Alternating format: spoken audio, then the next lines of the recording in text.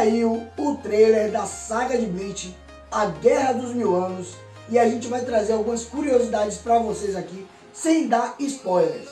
Vamos falar aqui para vocês o que esperar da saga e eu já adianto, vai ter resposta para muita dúvida do pessoal que não viu o mangá todo, acompanhou só o anime, vai ter bancais novas, poderes novos, vai falar de personagens que você fica pensando, oxe, mas esse cara aqui? Sim, ele. E vai ter muita coisa boa. É porradaria o tempo todo. Essa guerra, resumidamente, ela começará com os Queens. Para quem achava que os Queens eram fracos, né? Ali por causa de Oriwishida, a partir daí a gente vai ver, afinal de contas, os Queens, eles não só usam flechas, igual Ishida fica usando o tempo todo. Então, eles terão novos poderes, serão vários Queens que vai aparecer, afinal de contas, realmente é uma guerra, e cada um com um poder mais apelão do que o outro. Para quem não se lembra, o pai de Ishida não queria que Ishida se envolvesse com Ishigo, porque ele é um Shinigami. E ele estava bastante isso. E vai ser explicado o porquê de toda essa rivalidade. Galera, também vai ser explicado um pouco mais sobre o Rei das Almas. Aquela situação ali que Aizen realmente queria destroná-lo. E será explicado quem é, para que serve, qual é a sua função. Eu acho muito legal explicar isso para vocês. Então, vale a pena você dar essa conferida. É um personagem que vai aparecer aí para explicar muita coisa que ficou em falta ali no anime. Vai mostrar também o nosso querido Ivan Suzuki. Muita gente ficou se perguntando o que aconteceu com ele depois que ele foi preso. E vai mostrar como está a extensão dos seus poderes após a grande briga com Ishio. Uma das coisas mais legais que vamos ver serão algumas bancais que não foram mostradas. Alguns capitães finalmente irão revelar suas bancais, porque alguns deles tinham mostrado até as suas Shikai, mas as bancais não foram mostradas. E isso vai ser muito legal, estávamos esperando ver esses capitães e outros personagens ali que estão no meio também, mostrando a sua bancai, né?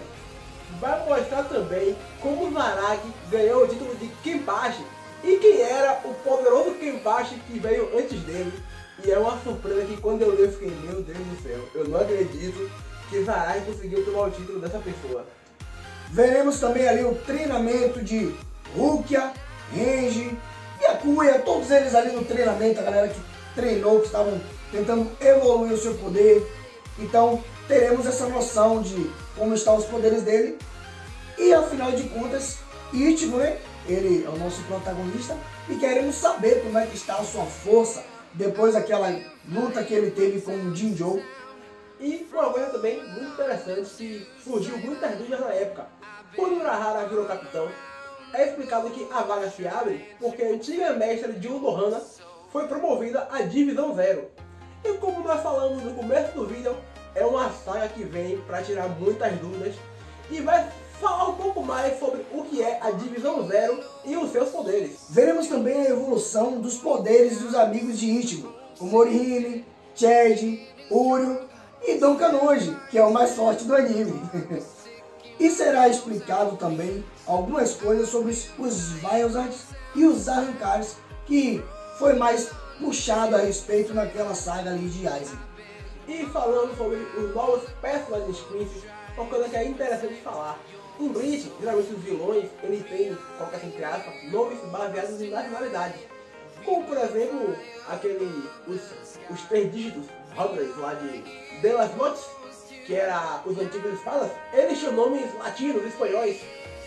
E essa saga dos príncipes, os nomes são em alemão. E o grupo de vilão se chama Stern Ritter. E se tem uma coisa que ficou muito boa nessa saga, é o nome dos personagens. Combinou muito bem. Esses poderes que eles vão vir trazer são muito fortes. Cada um tem um poder diferente. Para quem achava que os Princes era só arco e flecha, vocês vão ver os personagens realmente muito fortes. Vai valer muito a pena ver essa batalha, essa guerra, porque se na época passada já teve uma guerra entre os Quincy e os Shinigami e os Quincy acabaram perdendo. Agora eles vão vir com ódio total para querer se vingar, digamos assim, e haverá uma guerra muito magnífica. E aí entra um grande dilema. De qual lado Ishida vai ficar? Dos Quincy, a sua raça? Ou dos seus amigos Ishigo e o pessoal? Galera, a partir de agora a gente não pode estar tá falando mais nada, porque correríamos o risco de acabar trazendo algum spoiler pesado para vocês. Mas assim que o anime lançar, vamos fazer algumas análises do episódio. E eu posso dizer para vocês também que iremos trazer algumas curiosidades a mais, principalmente sobre os poderes dos Stand Hitters, antes mesmo do anime lançar. E galera, para quem está com pressa, quer saber logo tudo que vai rolar, cada poder explicado, para quem já leu mangá e não entendeu também, nós vamos falar nos próximos vídeos sobre o poder de cada Quincy, como funciona. Vamos falar também sobre os novos poderes dos Shinigamis que aqui é mostrado no Renova Saga. Vai tirar algumas dúvidas, porque Kubamura tem cabeça de cachorro, isso vai ser explicado também. E vamos trazer tudo para vocês cada novidade, cada detalhezinho da nova saga. Estaremos colocando tudo aqui no canal, que é para vocês se entreterem. E se vocês gostaram do vídeo, se vocês gostaram de saber o que está por vir, já deixa seu likezão.